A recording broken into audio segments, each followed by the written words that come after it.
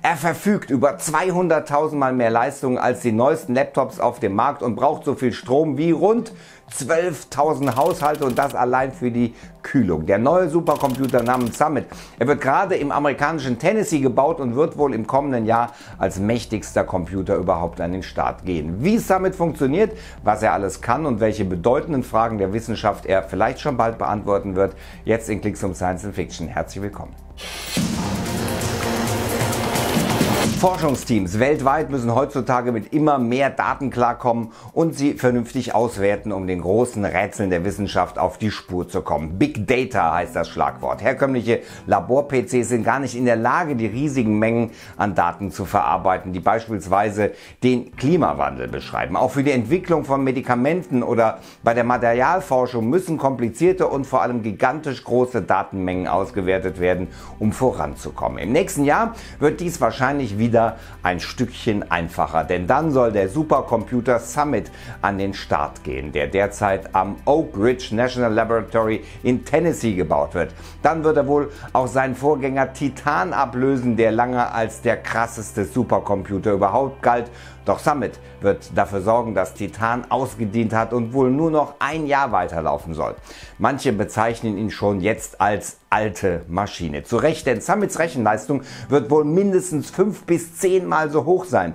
Es ist einfach der reine Wahnsinn, was Summit können wird. Pro Sekunde wird er nach Plan des Forschungsteams rund 200 Milliarden Operationen durchführen können. Ermöglicht wird das durch sein Innenleben. Gerade wird er mit sogenannten Knoten ausgestattet. Insgesamt 4600 davon wird Summit am Ende besitzen und jeder einzelne davon kann rund 40 Teraflops leisten. Flops steht für Floating Point Operation per Second, also auf Deutsch Gleitkomma Operationen pro Sekunde, wobei Gleitkomma die Art der Zahlendarstellung bei Computern bezeichnet. Flops geben also grob gesagt an, wie viele Berechnungen ein Rechner pro Sekunde schafft. Dadurch, dass in Supercomputern wie Summit zahllose Prozessoren kombiniert werden, erreichen sie an gesamter Rechenleistung sogar Petaflops, also das Billiardenfache Dafür steht Peter an Flops. Summit soll 200 Petaflops schaffen. Um diese Rechenleistung zu erzielen, braucht Summit unfassbar viel Energie. Zudem produziert er bei seiner Rechnerei eine unvorstellbare Hitze.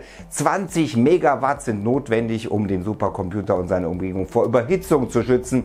Das ist etwa so viel Energie wie etwa 12.000 Häuser an Strom verbrauchen. Denn jeder der 4600 Knoten von Summit muss einzeln gekühlt werden. Eine riesige Herausforderung. Die Lösung dafür eine sogenannte Kaltplattentechnologie in jedem einzelnen Knoten, bei der kühlendes Wasser durch die Oberplatte geleitet wird. Dadurch werden tatsächlich etwa 70 Prozent der Hitze absorbiert. Das Wasser ist übrigens 21 Grad warm, denn wäre es eiskalt, würde sich Tau bilden, der Summit gefährlich werden könnte. 30.000 Liter Wasser pro Minute müssen deswegen fließen, um diese Kühlleistung zu garantieren. Diese Kühltechnik ist für solche Supercomputer innovativ. Der Supercomputer Titan wird noch durch ein Gefriersystem gekühlt, andere Systeme seiner Art durch ein Bad aus Öl. Bis nächsten Monat laufen wohl noch die letzten Installationen, dann wird Summit noch eine Zeit lang auf Schwachstellen getestet, bis er dann als wahrscheinlich mächtigster Computer überhaupt seinen Dienst aufnehmen wird. Hier bei Clicksum erfahrt ihr natürlich, wenn dort neue bahnbrechende Erkenntnisse gewonnen werden.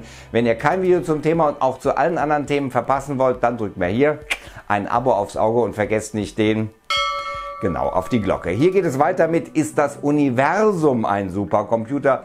Das wäre dann tatsächlich der ultimative Supercomputer, wie Forscherinnen und Forscher auf diese Idee gekommen sind. Einfach draufklicken und am Ende seid ihr schlauer. Und ansonsten bis dann. Bleibt dran.